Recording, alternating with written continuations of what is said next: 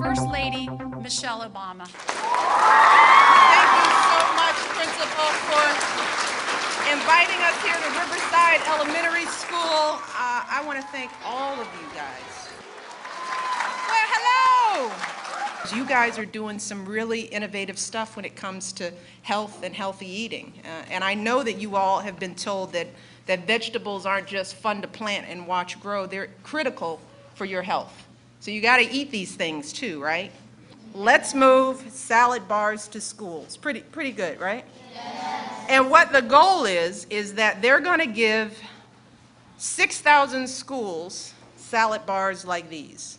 Are we going to make Daniel eat salad today? No. Daniel's going to learn to love salad. The more colors on your plate, the more healthy it is for you. And a crouton is not a vegetable.